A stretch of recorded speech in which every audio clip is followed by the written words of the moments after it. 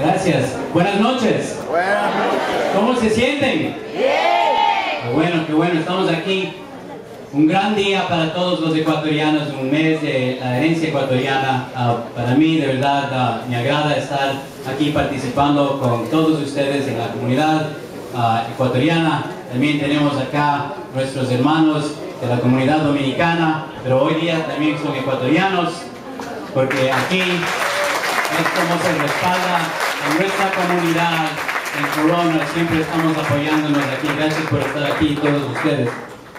Ah, primero quiero agradecerles, ya sé que, y quiero decirles que en este evento no voy a estar aquí por solo cinco minutos. Eh, me quedo toda la noche, no se preocupen. No tengo, no tengo otro evento que me tengo que ir. Ah, pero es, hoy es, eh, es un, un, día para nosotros eh, celebrar uh, la cultura, uh, de verdad dar un homenaje a varias personas dentro de nuestra comunidad que merecen recibir una, un reconocimiento del Estado de Nueva York por el trabajo que hacen.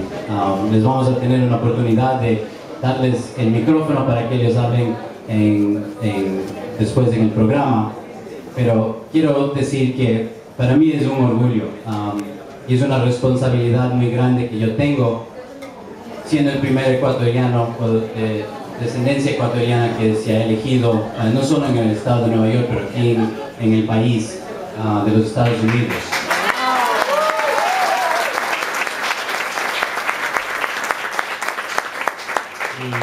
Yo creo que trayendo la experiencia um, que tuve cuando era muy joven, ¿no? Mis padres uh, inmigraron acá, um, mi papá vino a Nueva York cuando tenía 19 años. Um, tenía un sueño de ser un arquitecto, quería estudiar arquitectura. Y él vino acá, no conocía a nadie, no tenía mucho dinero, y vino acá y le reclutaron uh, para que se vaya eh, en el Army para que vaya a pelear en Vietnam.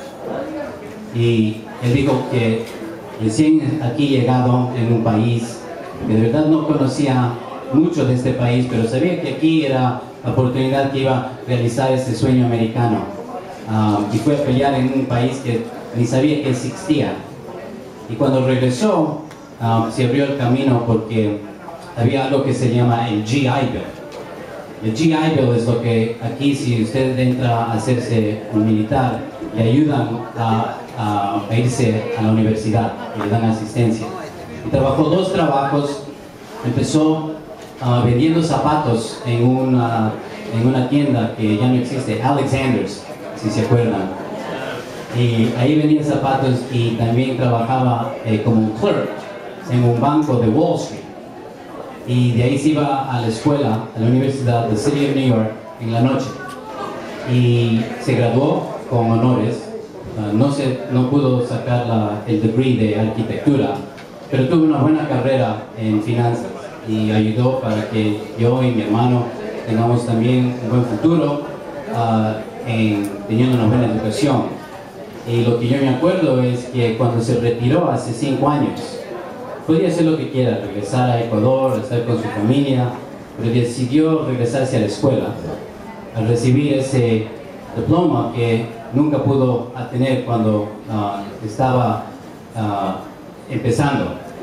Y de ahí cuando se tuvo la oportunidad de graduarse y ya todo estaba listo, eh, decidió no caminar ese día al recibir el diploma porque ese día decidió pararse en la esquina de la 103 y Roosevelt Avenue a las 6 de la mañana porque su hijo tenía una elección ese día. Entonces, eso es...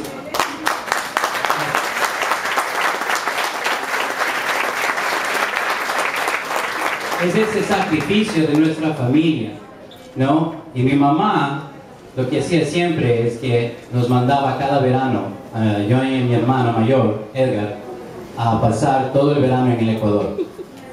Y cuando era chiquito decía, ¿por qué me estás mandando? Yo quiero estar aquí con mis amigos, tengo toda la comodidad, aquí hay McDonald's, me están dando fritada, guatita, todo eso así, no quiero...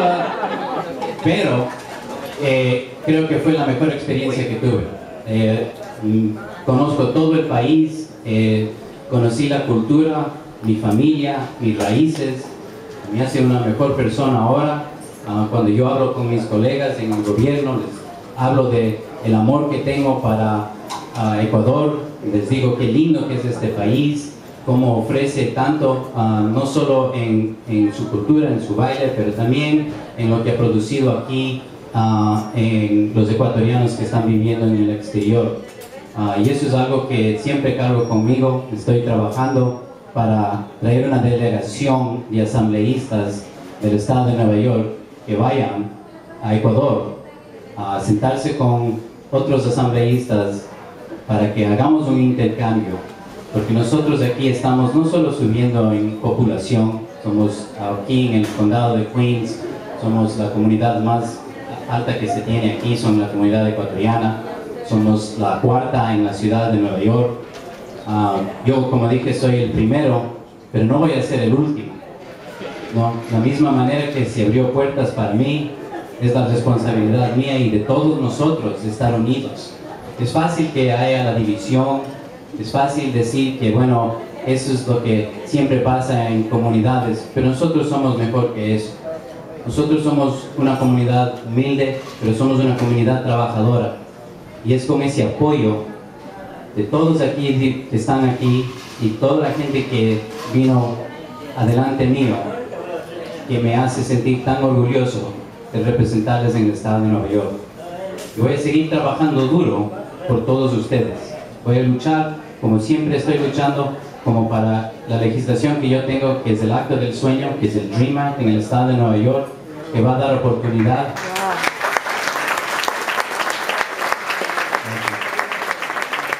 jóvenes inmigrantes que tengan la oportunidad de recibir ah, asistencia financiera para que se puedan ir a la universidad.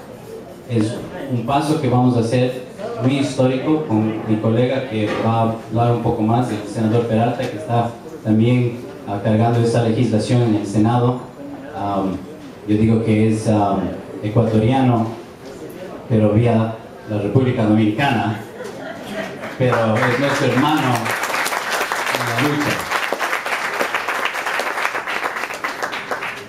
y en eso hoy es, como dije, es para agradecerles a todos ustedes que trabajan muy duro en la comunidad ecuatoriana, también para reconocer a la gente que ha trabajado duro ah, en nuestra comunidad.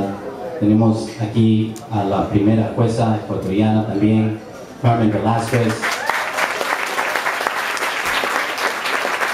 Es mi hermana, una luchadora, una persona que ha trabajado duro para lograr los éxitos que ha logrado. Yo siempre me acuerdo cuando empezamos hace muchos años juntos hablando de cómo nosotros íbamos a poder no solo entrar a, la política, pero cómo íbamos a ayudar a nuestra misma comunidad. Y Carmen, te agradezco por siempre ser una grande líder en nuestra comunidad, pero ser mi amiga en el proceso también. Entonces, con eso le voy a dar a la, a la persona que quiero mucho y es la persona que es responsable que todos ustedes estén aquí. Es una, una amiga mía, es una líder eh, en, en, nuestra comunidad. Le llamo en la oficina.